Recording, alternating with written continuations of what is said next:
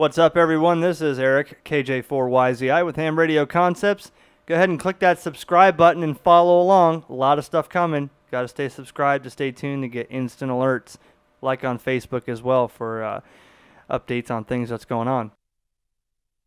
I'm going to, we just did a video on the X5105 in the back here, which is uh, getting some more videos here soon, but I'm going to go back to the RS918, which is a clone of the MCHF.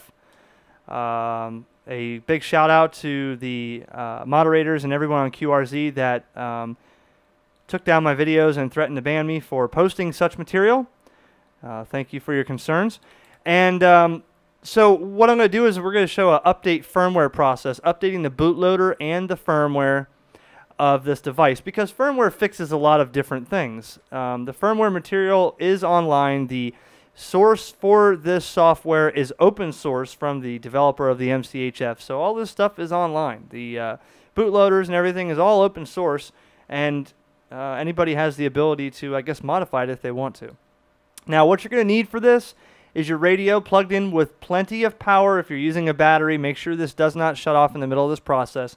You're going to want a USB stick, memory stick. Now, this is an 8 gig. You do not need an 8 gig. You can get away with a 512 meg. It's very a, a really a small file, but um, you're going to need this and also the USB cable that you would plug into the the uh, computer. Now, I'm doing this on Windows 10. Yes, it will work on Windows 10. Yes, this device does detect on Windows 10. I know I've had a lot of people that say it's not working on Windows 10, but it is. So let me go through and show you what the software is that you need to download. All the links are available below this video. That's right below what you're watching, below the video in the description. A lot of people always ask, where is the info? It's in the description. So uh, go there and download, follow along. I'll show you the process. It really is super easy. Uh, a big shout out to Daniel B, who follows me on Facebook and walked me through uh, getting the proper bootloader and firmware to get this up to date uh, on the device. Thank you for his help. And um, this should sum it up for you. So let me show you online the uh, software you need first.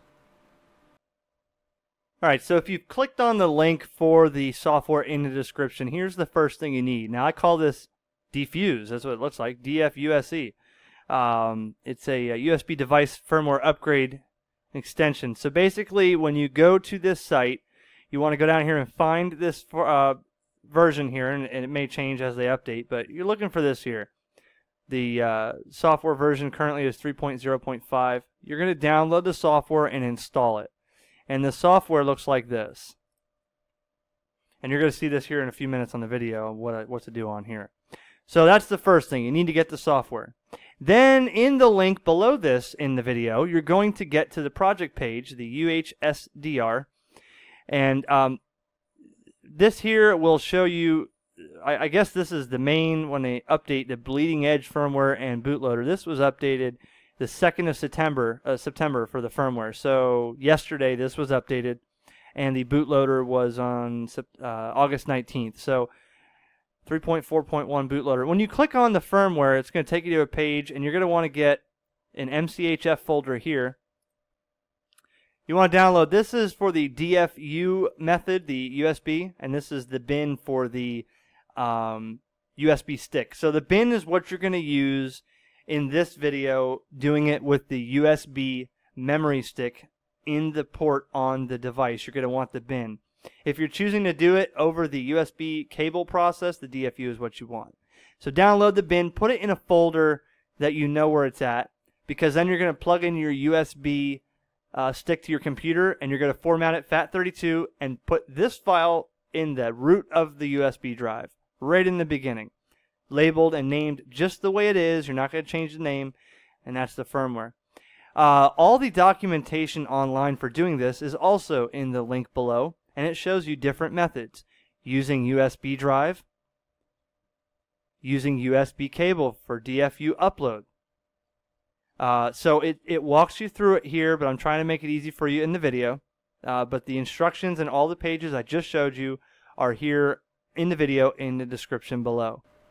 Now for the bootloader update process with the USB cable plugged in to the USB port on the radio, you're going to hold the band plus and you're going to hold the power. When it comes on, after two seconds, you're going to let go of the band plus, but you have to keep the power button held down this entire time. So free up both hands. If you're right handed with the mouse, do this in your left hand. Hold the power button the entire time while you're uploading the bootloader.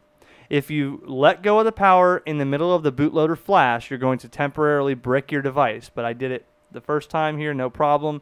Just make sure your radio stays plugged in and you got your finger on that and uh, you know check and double check you got everything ready before you do this. And uh, this is what it will do on the screen.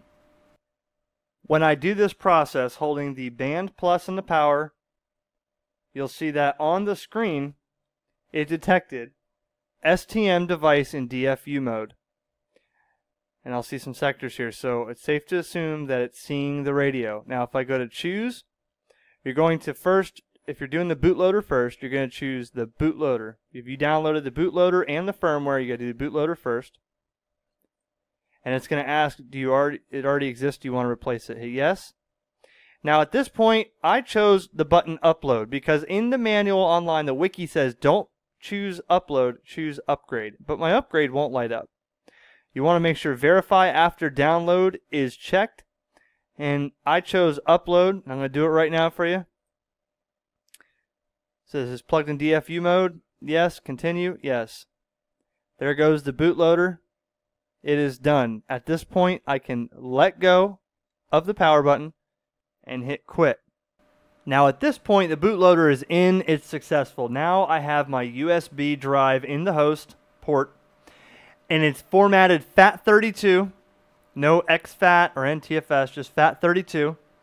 Root, nothing in it. You're going to drop the firmware bin, firmware.bin file, because when you download it, there's a firmware uh, .dfu for the USB cable mode and a firmware.bin for the USB host. Now, apparently you can do them both with the USB cord, but I had an issue where it said it was successful and nothing happened. Essentially, you could also do both of them with the USB key, but from my understanding, um, uh, you know, the bootloader first has to be on there before you can upgrade it, and to get it on there, you have to use the cable. So to make it easy, I did the, the bootloader over the USB cord like you just saw. Bootloader's done. Now I'm going to do the firmware with the key. So essentially, the bootloader is going to stay there, and I shouldn't need to update that much, but I can constantly update the firmware with just a key with the USB drive here. Now, this one's a little bit different. I'm going to hold the band minus and the power, and I'm going to let go of the power, but keep holding the band minus, and it'll show you on the screen. Hold band minus and power. Let go of power. Oh, you can't be plugged into the computer. That's right. Got to be unplugged from the computer. Band minus power. Let go of power when you see the screen, and keep holding band now you can let go. USB drive detected. Firmware will be updated. It saved the old firmware and now it just uploaded the new firmware. Finished. Remove drive or press band negative or band down to reboot. So press power to switch off. I'm going to hit power. Now I'm going to remove the stick and I'm going to turn it back on. There it is. Version 2.5.71 is what I just downloaded. And um, it saves the settings. It just updated the firmware, fixes some bugs. Uh, from what I understand, there's they're working on uh, decoding RTTY and PSK on the screen. Hopefully, the the host, the USB host port, will uh, adapt to my fold-up keyboard. You might have seen on the video for this PSK modem I did, where I can do PSK right from the front of this unit without a computer. That would be uh, Epic. So that is your firmware and bootloader upgrade procedure. You need your USB cable. You need your USB stick. It is doing it on Windows 10. So if you're having an issue with Windows 10, getting the STM or SMT device to acknowledge in your device manager, uh, troubleshoot that on your own end. But yes, it is working on Windows 10. You just saw it. Uh, the software and everything is available in the description down below. And uh, more videos on the way. So thanks for watching and 7-3 from KJ4YZI.